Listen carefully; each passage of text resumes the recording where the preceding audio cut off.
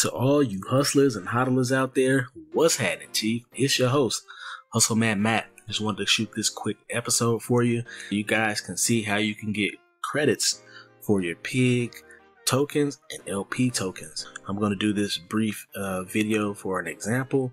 I'm going to go to the piggy bank and withdraw, sell some truffles. I can get some LP tokens to show you this example. I got some truffles here that I can sell. Let's do that, you guys, and confirm this. I think I have one other stake that I could sell some truffles for. Let's do that once this one clears. All right, that one is good. Let's go on to this next one here. and Confirm uh, this sale here.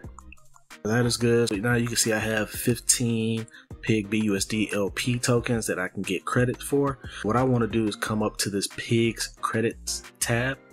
We'll click on it.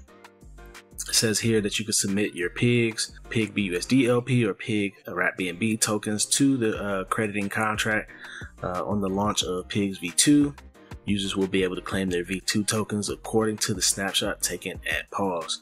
Uh, the PIGS V1 token will become obsolete and uh, will not be usable after the PIGS V2 launch. Tokens will be sent directly to the contract address. It's saying tokens sent directly to the contract address will not be credited. Make sure that you use this particular uh, credit system. In this instance, I have uh, my pigs BUSD LP. You can see that it already has populated it here for me. I don't even have to hit max, it's already there. And I'm just going to first approve this uh, pigs BUSD LP. Let's do that. That is currently approving. And then once uh, approved, this credit token should pop up here. Uh, let's see that here in a moment. There it is. Now let's go ahead and credit those tokens confirm and there we have it as simple as that those lp tokens have been uh, submitted they've been successfully credited for uh, the pigs v2 uh, BUSD LP uh, pair will be good to go. I believe this is going to be good until uh, March the 22nd, which I believe is this upcoming Tuesday. Guys, you got a few days to do this. Go ahead and get your credits. That way you're good for the Pigs version 2. And with that, we'll conclude today's episode. It's your host, Hustle Man Matt. And until next time, what's happening, Chief?